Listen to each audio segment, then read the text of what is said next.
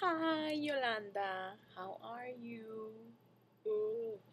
Since you refused to get a Skype and a porn cam, I guess I'll have to make you a video so you can see my beautiful face.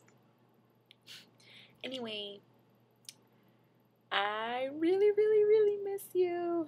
And I hope to be in Chicago soon, very, very soon. And you're doing well. And I hope you get the time to make me a video because I've seen you make videos before. So, anyway, um, yeah, just wanted to make you a video to tell you that I miss you and I love you and I hope to see you very, very soon.